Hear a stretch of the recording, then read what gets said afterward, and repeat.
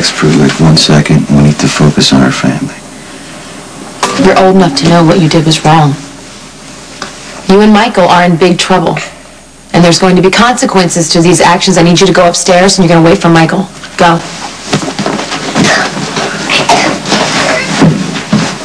All right, buddy. What you did goes way beyond a prank. Or a mistake. You lied, you were disrespectful, you manipulated the situation to get your own way. And you know what? You put, you put your brother and your family in danger. Anybody could have just walked in when we were downstairs locked in there in the basement. So you gotta take some responsibility for that. I don't care how long you ground me for. I need to show you two that you still love each other. Michael, your father and I are adults, and we've decided to get a divorce. Dad doesn't don't want to get a divorce. Do you? Decision to stay married or get a divorce is between your mother and me, not you and Morgan. It's about our commitment and how we deal with that. Has nothing to do with what, how, what we feel for you guys. Yeah, but you're our parents, and parents are supposed to stay together. Not always, and not all parents. Then why do you keep getting married?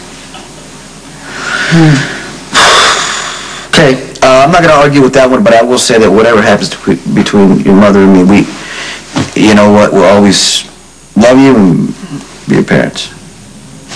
Whether we're in the same house or not. And as, as your parent, I'm telling you that you are grounded for a month. Yes, you are.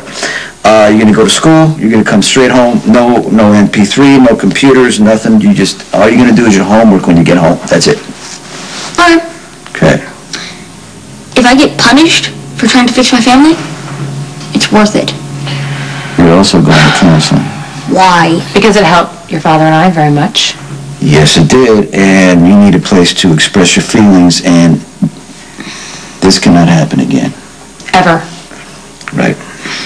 Oh, no. Mm-mm. Go upstairs. Go upstairs and wait for us to come up there. And just remember that you are in big trouble.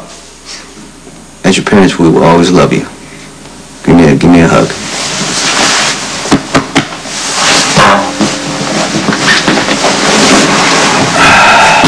Now what do we do?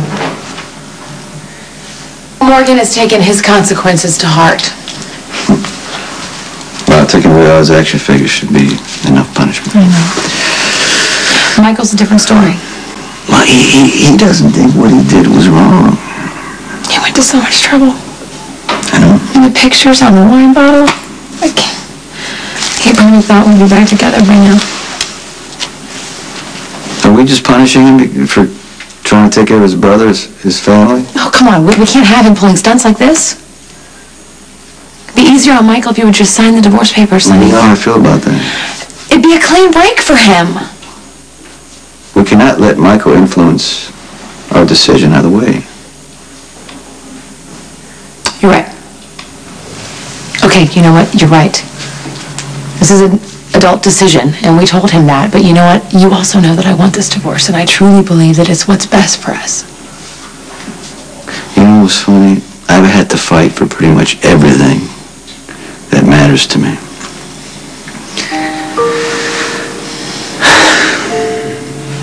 So it makes sense that I'm going to fight for the thing that matters the most. Spending my life and